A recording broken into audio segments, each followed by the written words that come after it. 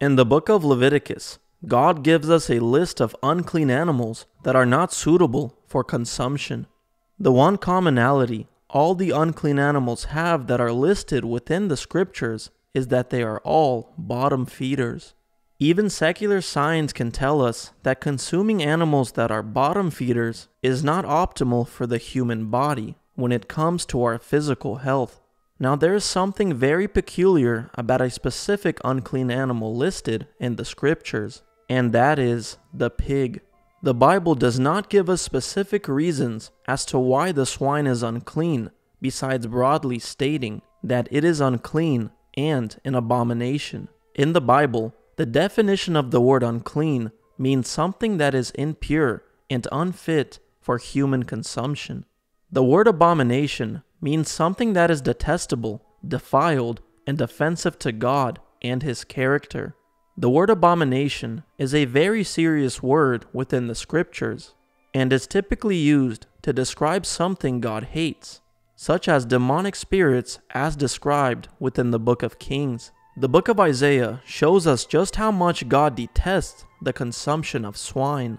The book of Isaiah, chapter 66, verse 16 For by fire and by his word will the Lord plead with all flesh, and the slain of the Lord shall be many. They that sanctify themselves and purify themselves in the gardens behind one tree in the midst, eating swine's flesh and the abomination and the mouse, shall be consumed together saith the Lord. I believe the Bible, apocryphal books, mythology, and observable science will possibly give us the specific reason as to why God forbids the consumption of swine's flesh. There is a very interesting account Jesus had that involved demons and pigs. In the book of Luke, Jesus encounters a man possessed by many demonic spirits who called themselves the collective name Legion, for they are many. The demonic spirits fear that Jesus will drive them out of the world and into the abyss, so they beg him instead to cast him into a herd of swine on a nearby hill, which he does. The pigs then rush into the sea and are drowned. My question is if the swine is one of God's animals that he himself created, then why would he be okay with defiling his own animals by allowing unclean spirits to enter the swine? unless there's a good possibility the swine was not created by God Himself, but is a product of genetic defilement caused by the rebellious fallen ones. Hence why God didn't think twice about sending Legion into the herd of swine. I also found it interesting that pigs are the only animals that were able to become vessels for demonic spirits within the scriptures, which made me wonder if there is something genetically similar about swine to the human body. And as disturbing and strange as it sounds, there is. Secular science is starting to come to the odd conclusion that there is a genetic link between the DNA of swine and humans. You're a pig is a common insult, but interestingly, there are a number of similarities between humans and pigs. These includes various anatomic and physiological traits, such as organ placement, and often size and function, skin similarities, and some disease progression. A pig resembles a human body in many ways, including fat distribution, eye color, and cover of hair. For this reason, pigs have been used in medical research for over 30 years, and what's known as a translational research model. This means that if something works in a pig, it has a higher possibility of working in a human. Stomach, spleen, bile duct systems, small intestines, kidneys, bladder, and the remainder of the abdominal organs found in the pigs are basically the same as found in humans. Swine organs are often used in human bodies during certain surgeries. In fact, several biotech companies are now developing genetically modified pig organs for successful human transplants. For over 30 years, pig valves have been successfully planted in humans. Interestingly, a pig's heart is similar in size, weight, and structure to a human heart. The operators at crematoriums often cannot stand the smell of cooked pork. According to the operators themselves, the smell of burning bodies smells identical to a burnt pork roast. Many cannibals throughout history often describe the taste of human flesh to the taste of pork. Cannibal tribes that have existed within the Pacific Islands refer to human flesh as long pig. The term long pig is a translation of a phrase used in the Pacific Islands for human flesh. Early explorers and missionaries who contacted cannibal Pacific Islanders were told that human flesh tasted similar to pork, thus the term long pig. Запрещена свинина. Запрещена она еще в Библии.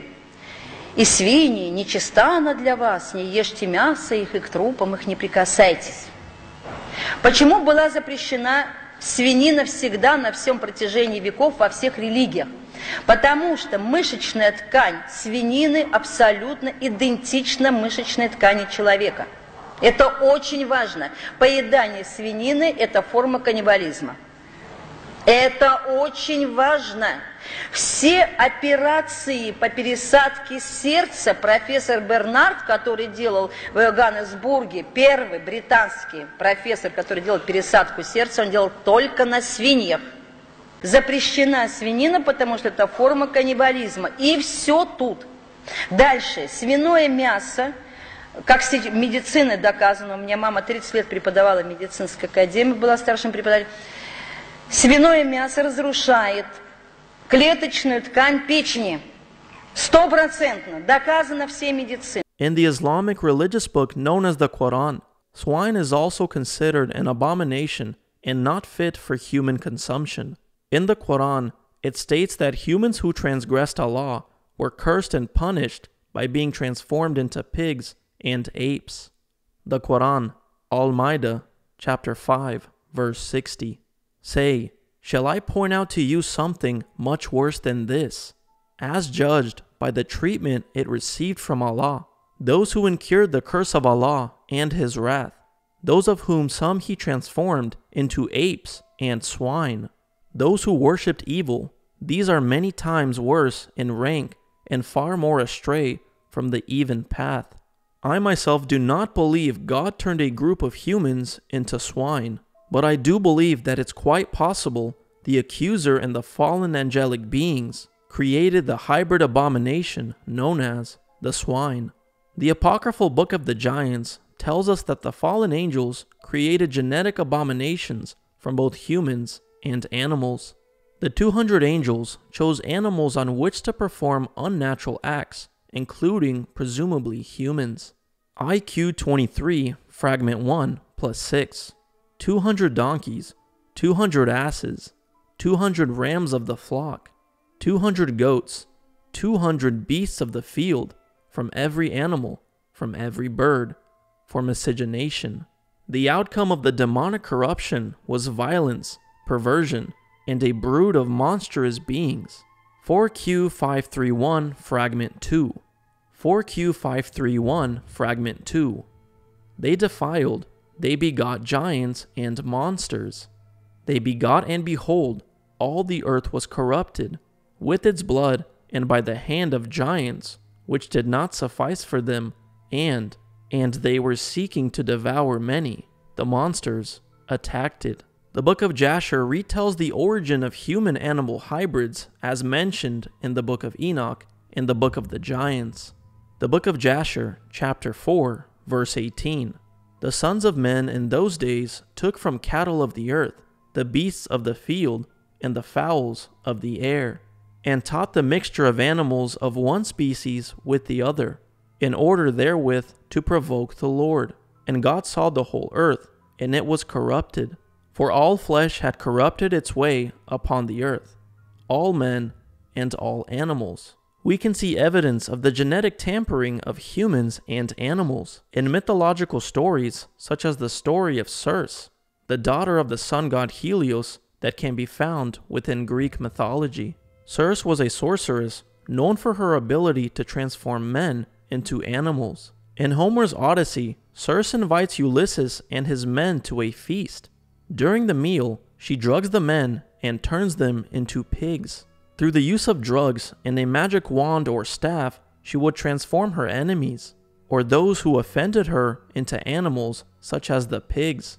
With all this evidence in mind, it's beginning to become quite clear as to why God finds the consumption of swine to be so detestable. The genetic similarities between humans and pigs is uncanny. There are even secular scientists that believe that swine are the evolutionary ancestors of humans.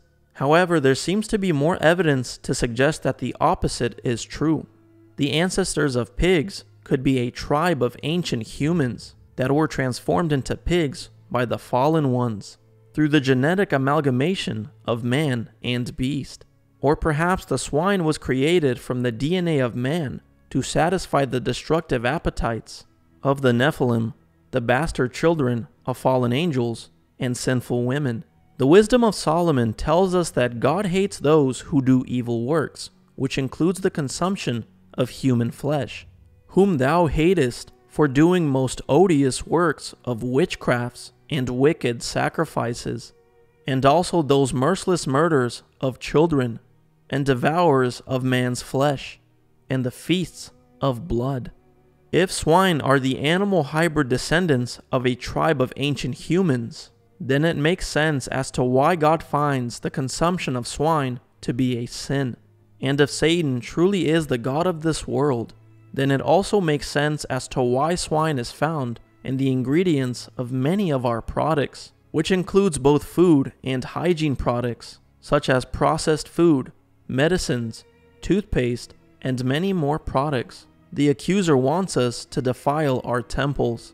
I do not condemn those who consume pork, however, I do encourage everyone to test all things, like the Bible says, which includes what we consume on a day to day basis. If you need more evidence to prove that God's commandments are holy and they are for our own physical and spiritual benefit, then pray and honestly ask the Spirit of truth to guide you to the answers that you seek concerning God's commandments. Jesus Christ himself followed God's dietary laws. We are told to follow Christ in every way, which includes how he conducted himself, his morality, the things he consumed, and every other aspect of Christ and every other aspect of Christ is to be observed and applied into your life because he is the perfect example of how to be spiritually, mentally, and physically healthy.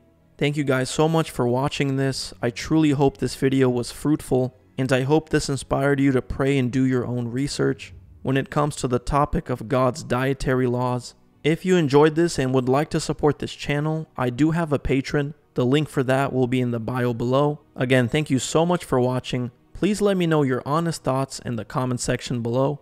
Please like, share, and subscribe. Peace and blessings, and I will see you soon.